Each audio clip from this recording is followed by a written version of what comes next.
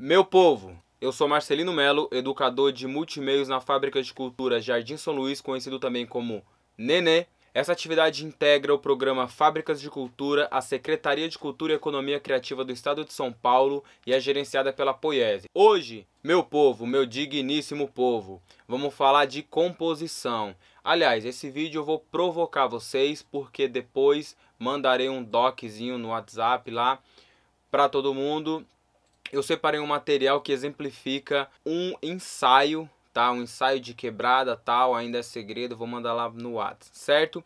Primeiro eu quero dar algumas dicas. Aliás, esse vídeo vai ser sobre dicas. Eu quero pedir para vocês um ensaio, cada um na sua casa, né?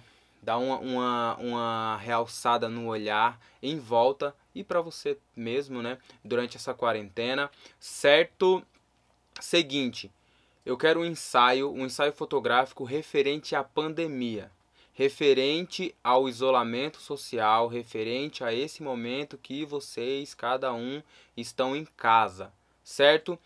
Primeiro eu quero que vocês se atentem às mudanças, a mudança de hábitos, a novos hábitos que adquiriram nesse momento de pandemia. Quero aqui que vocês se atentem a algumas coisas. Preparei algumas dicas aqui para vocês, tá? Acredito que vai ajudar e vamos lá.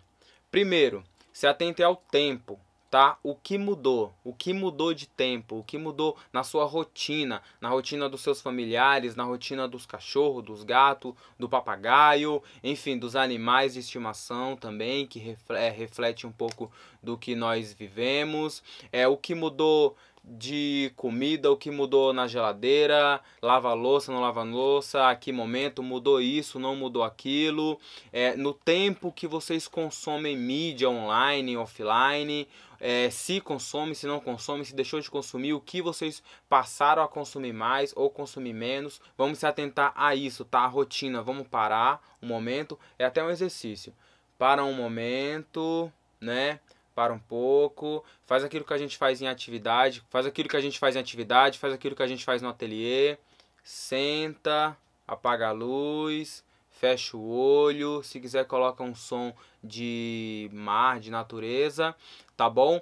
É, medita três minutinhos ali, se concentra, tenta deixar tudo né, que vinha à mente passar, abre o olho bem devagar e olha ao redor, tá? Isso vai ser bem importante. Olha ao redor, olha o que mudou, olha o que ainda continua lá, olha o que talvez vai passar a fazer parte da rotina daqui por diante ou que já faz. Se atentem, tá? Lembrem que eu falei em uma das atividades que Objetos pequenos, objetos contam histórias. As histórias são contadas por objetos, tá? Eu sempre falei isso toda vez que a gente assistia alguma coisa lá na atividade, lá sempre no final de atividade no ateliê, naquele antigo mundo que conhecíamos, nós parávamos para assistir um, dois, três clipes e discutir principalmente onde estão os elementos e por que que eles estão lá tá? A atividade da última aula em vídeo foi essa. Eu separei alguns nomes de fotógrafos aqui, de coletivos de fotografia,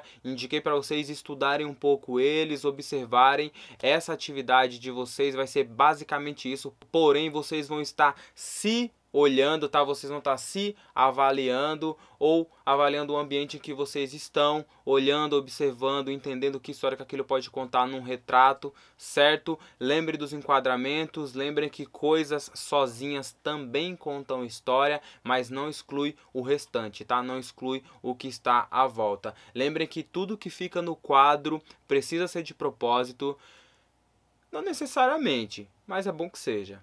Tá bom? É isso. Valeu, é nós.